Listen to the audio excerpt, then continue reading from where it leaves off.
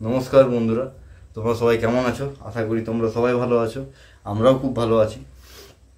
কিন্তু বাংলাদেশের বগুড়া বলে একটা জায়গা আছে, যেটার ঘটনা হয়তো তোমরা রিসেন্টলি দু তিন দিনে অনেক দেখেই নিয়েছো বা শুনেই নিয়েছো যে কি হয়েছে সেখানে। তো সেটার জন্য মনটা খুব একটা ভালো নেই আমাদের। কারণ এই জিনিসগুলো না আমরা আশা করি না যে এরকম জিনিস একটা এত সুন্দর, একটা শুভ দিন, যেটাকে আমরা বলি রথযাত্রা সাতই জুলাই, রবিবার, রথযাত্রার দিনে। যারা যারা জানো না, তাদেরকে আমি বলে দিই কী হয়েছিল ঘটনাটা। সাতই জুলাই, রবিবার, বাংলাদেশের বগুড়া বলে এক স্থানে রথযাত্রা বেরোয়। ওখানকার ইস্কন মন্দির থেকে একটা শিব মন্দিরে যাওয়ার জন্য।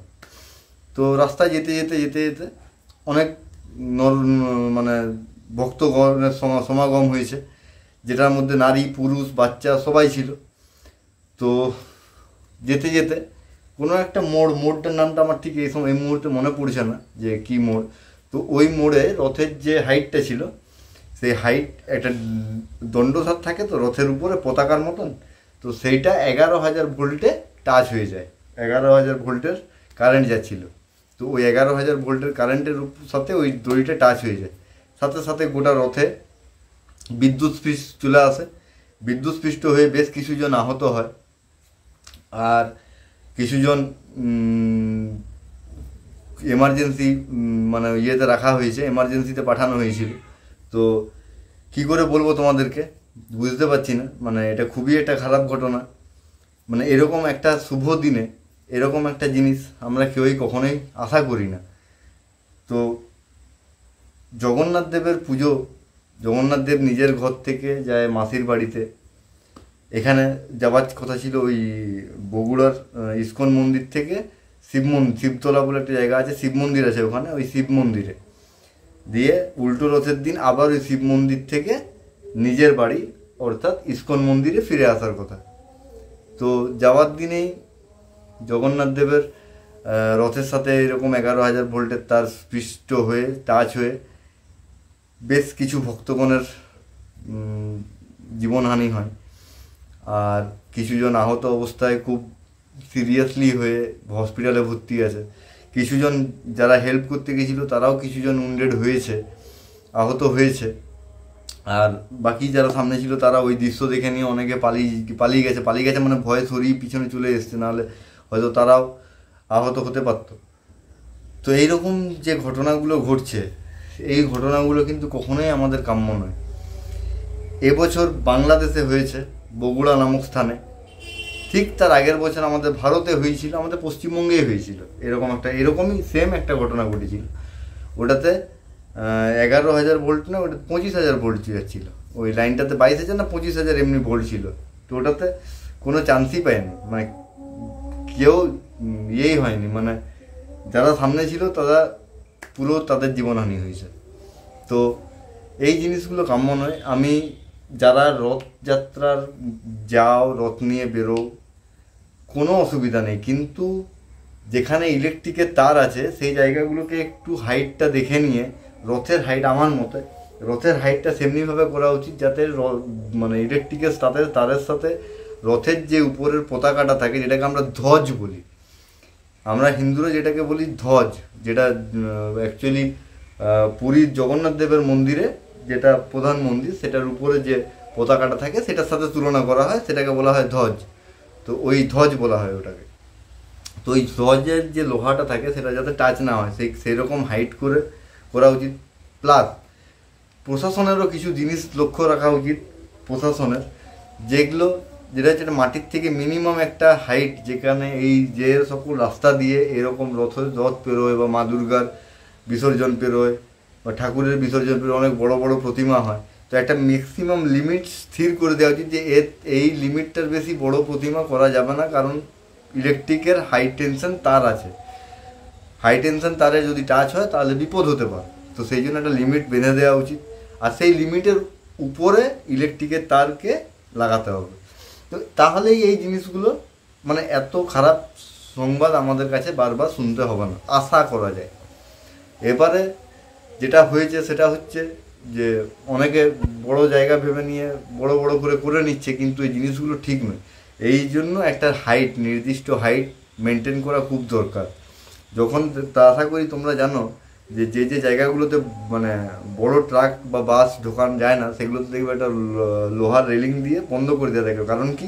না, ওই হাইটের নিচু যায় যেগুলো গাড়িগুলো আছে, তারাই পাস করতে পারবে। তার থেকে বড় হাইটের গাড়ি পেরোতে পারবে না, কারণ ওই রুটটা তাদের জন্য নয়। কারণ ওই রোডটা যদি তারা ঢুকে হয় রোড জাম হতে পারে বা রোডের কোনো ক্ষতি হতে পারে বা রোডে যারা যাওয়া আসা করছে তাদের কোনো প্রবলেম হতে পারে। তো সেই জন্য ওই রোডগুলোকে মানে হাই, হাইলি যে বড় বড় ট্রাক, ফ্রাক, বাস এগুলো হয় তাদের জন্য নিষিদ্ধ করে তাদের দেওয়া থাকে। ঠিক সেই রকমভাবেই এই জিনিসগুলোকেও নিষিদ্ধ করে দেওয়া উচিত যে যেখানে তোমার তার নিচু আছে, সেই জায়গা রাস্তা দিয়ে যাওয়া যাবে না। ওদের জন্য একটা আলাদা স্পেশাল করিডোর করে রথ পার করে দেওয়া বা বড়ো মন্দির মূর্তি হলো, মা দুর্গার মূর্তি হলো, সেগুলোকে এরকম একটা বড় রাস্তা দিয়ে ঘুরিয়ে দাও, যেখানে হাই টেনশন তার অনেক উপরে আছে। আর পাড়ার গলি দিয়ে যদি তুমি বেরোতে যাও, তাহলে গলি দিয়ে বেরোতে গেলে তো তুমি যদি অত বড় মতিমা পার করতে যাও, তাহলে লাগতে পারে, কারণ ওখানের হাইট অনেক নিচু থাকে। তো সেখানে সরকারেরও কিছু করার থাকে না, কারণ ঘরগুলো একতলার ঘরে তার অত উপরে তোমাকে তার দিতে পারবে না, তাহলে ওখানে নিচুই করতে হবে। তো এখানে প্রশাসনেরও হাত পা বাঁধা। তো সেই জন্য আমি সবার কাছে বিনীত অনুরোধ করব, যারা মন্দির কর্ত- কর্তৃপক্ষ আছেন, যদি কেউ ভিডিও দেখছেন আমার যারা রথযাত্রা করেন বা অন্য কোনো মন্দির কর্তৃপক্ষ যারা উঁচু উঁচু প্রতিমা তৈরি করেন, একটা নির্দিষ্ট লিমিট বেঁধে দিন যে এই লিমিটের বেশি হাইট করলে অসুবিধা হতে পারে। কারণ আপনারা জানেন যে আপনাদের যখন বিসর্জন হয়, প্রতিমা নিয়ে যাওয়া হয় বা রথ নিয়ে যাওয়া হয়, যে কত হাইট পর্যন্ত তার আছে। তো সেই হাইটের কম হাইট করে প্রতিমাটা তৈরি করবেন, তাহলে দেখবেন সাধারণ কারোর কোনো জীবনহানির কোনো শঙ্কাই থাকবে না। কোনো জীবনহানি হওয়ার কোনো অসুবিধাই হবে মানে জীবনহানি হবেই না, ঘটবেই না। এরকম খারাপ সংবাদ বারবার আমাদেরকে শুনতে হবে না। আর আমাদেরকে ভাবতে বা এরকম ভিডিও বানাতে বাধ্য করব না। মানে এই ভিডিওগুলো বানাতে না খুব মানে ভিতরটা ফেটে যায়। মানে অলরেডি আমি যেদিন ঘটনাটা শুনি রবিবার রাত্রেবেলায় ফেসবুকে আমি প্রথম ভিডিওটা দেখেছিলাম। তখনই আমার খুব খারাপ লেগেছিল। কারণ এই জিনিসগুলো হওয়া কিন্তু আমাদের উচিত নয়। মানে আমাদের বলো বা বাংলাদেশে বলো, এই ঘটনাটা বাংলাদেশে হয়েছে, অনেকে হয়তো বলতে পারবে যে বাংলাদেশের নিয়ে দাদা ভাই আপনি এত বলছেন কেন? অ্যাকচুয়ালি ব্যাপারটা হচ্ছে মানবিকতা। বাংলাদেশে ঘটনাটা হয়েছে, আমাদের দেশে ইন ফিউচার হবে না। কারণ আমি একটু আগেই বললাম, আগের বছর আমাদের ভারতেও এই ঘটনাটা হয়েছে সেম এই ঘটনাটাই ঘটেছে। সেম তো এই ঘটনাগুলো আমাদের মানবিকতা হিসাবে আমাদের কাম্য নয়। জন্মিলে মরিতে হবে, অমরকে কোথা হবে, এটা খুব সত্য বচন। কিন্তু সেটা তো একটা লিমিট আছে। সেটা তো মানে নিজের ইচ্ছাতে হয় না। ওটা নিজের ইচ্ছাতে করলে ওটাকে মানে নিউট্রালাইজড বলা যায় না। মানে নিউট্রালি তুমি যে জীবন মৃত্যুর যে ব্যাপারটা আছে, সেটা নয় সেটা নয়। এখানে হচ্ছে না ওটা। তো যাই হোক, অনেক বড় ভিডিও হয়ে যাচ্ছে। আর বেশি কিছু বলব না। আমি শুধু সবার কাছে হাত জোড় করে বিনীত অনুরোধ করব যে যে মন্দির কর্তৃপক্ষ আছেন বা রথযাত্রা কমিটির লোক যদি কেউ দেখছেন বা যদি কোনো গভর্নমেন্টের কোনো অফিসিয়াল দেখছেন ইলেকট্রিক ডিপার্টমেন্টের তারা একটু উদ্যোগ নিতে পারেন।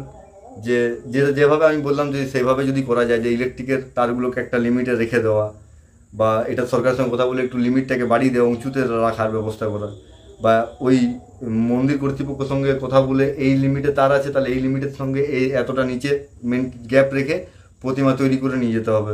তো এরকম যদি ব্যাপারগুলো যদি একে অপরের সঙ্গে যদি কোঅর্ডিনেট হয়ে যায় না, তাহলে এই রকম জিনিস আর ঘটবে না, এরকম দুর্ঘটনা আর ঘটবে না।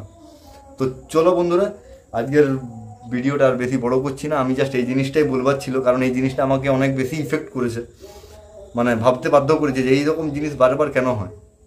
তো চলো, যেটার জন্য আমার যেটা মনের কথা ছিল সেটা আমি তোমাদেরকে বললাম, এবার তোমরা অ্যাপ্রিসিয়েট করবে, কি করবে না, তোমাদের কার কতটা আমার সাথে সহমত আছো সেটা অবশ্যই কমেন্টে জানাবে। সহমত হও বা কোনো আদার্স যদি কোনো তোমাদের মাইন্ডে কোনো ইয়ে থাকে, যে আইডিয়া থাকে যেটাতে এই জিনিসটা সলভ হতে পারে, অবশ্যই কমেন্টে জানিও। তো চলো বন্ধুরা, আজকের ভিডিওটা এখানেই শেষ করছি। ততক্ষণ পর্যন্ত তোমরা সবাই সুস্থ থেকো, ভালো থেকো। জয় হিন্দ, জয় ভারত।